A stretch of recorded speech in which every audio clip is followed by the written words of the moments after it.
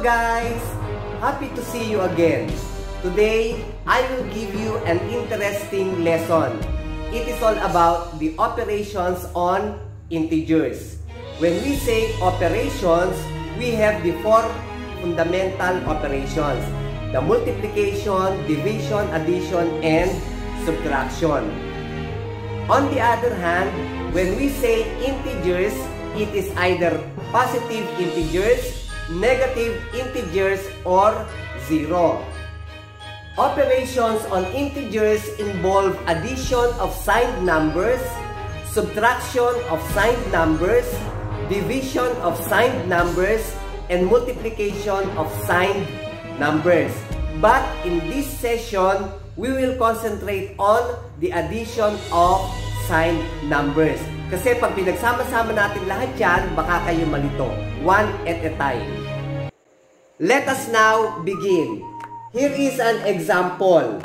Number 1, add negative 4 and negative 3. Number 2, add negative 7 and positive 4. Para mas maintindihan nyo, gamitin natin ang number line to perform the indicated operation. Again, ito, basihan natin sa number line, ano, yung 0. Sa kanan ng 0 ay mga positive integers at sa kaliwa ng 0 ay mga negative integers. Tingnan muna natin yung number 1. Number 1 is negative 4 plus negative 3. From 0, hanapin natin ang negative 4. Lalakad tayo ng apat na beses papunta sa kaliwa. Here is negative 4. Yan. Palakarin natin, this is negative 4. Datagdagan natin ng negative 3. Mula sa negative 4, negative 3, lalakad tayo papunta sa kaliwa. Remember this, kapag ka negative, kaliwa. Pag positive, kanan. Magdadagdag tayo ng negative 3. Isa, ayun siya, dalawa, and tatlo. Yan. This is negative 4 and this is negative 3.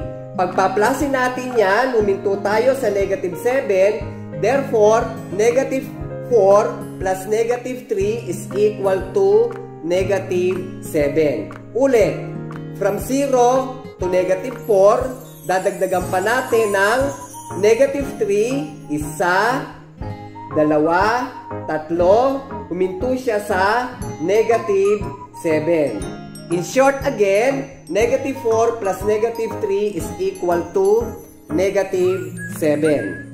Example number 2. Negative 7 plus 4 is equal to blank. Ayan. Mula dito sa 0, nandito ang negative 7. This is negative 7, no? Negative 7 plus magdadagdag tayo ng positive 4. So, pupunta tayo sa kanan because this is positive. Isa, dalawa, tatlo, apat. O, ayun. Huminto tayo sa negative 3. Again, negative 7. Alright, here is negative 7.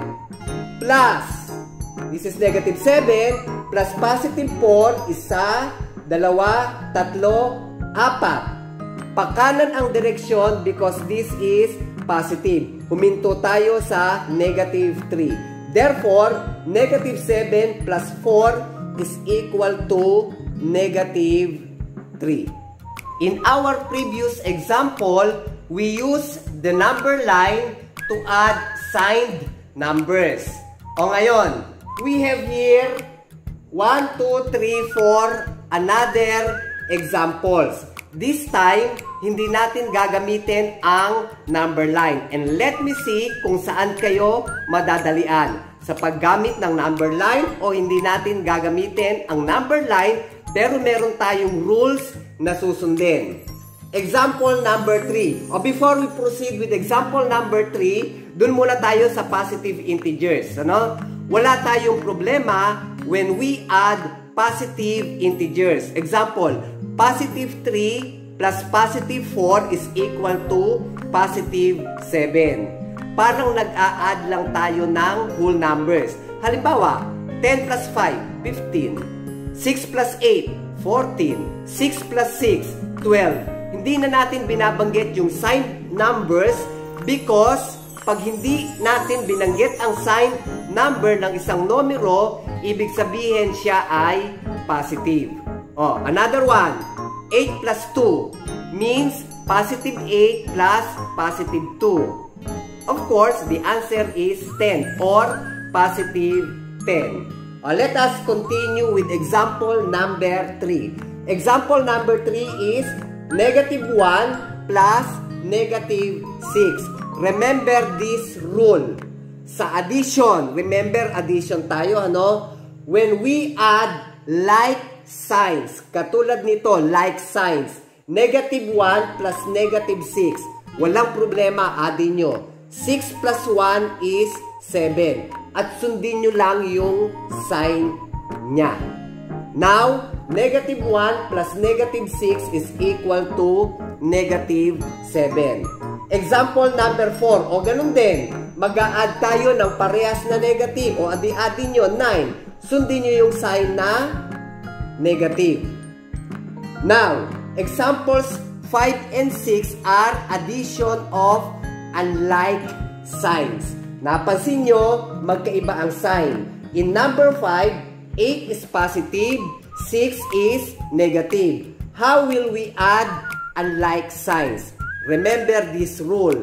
In adding unlike signs, find the difference. What is the difference of 8 and 6? The difference is 2. Disregarding the sign, ano? 8 at saka 6, which is greater? 8 or 6? Of course, 8. Kung malaki ang 8, tanungin natin ang sarili natin, ano ba ang sign ng 8? Ang sign ng 8 ay positive. Therefore, our answer is positive 2. Another example, number 6. Addition of unlike signs.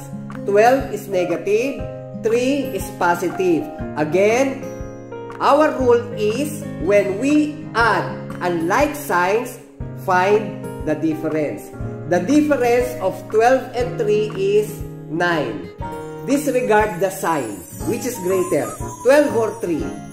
12 is greater. Now, ask ourselves, what is the sign of 12? The sign of 12 is negative.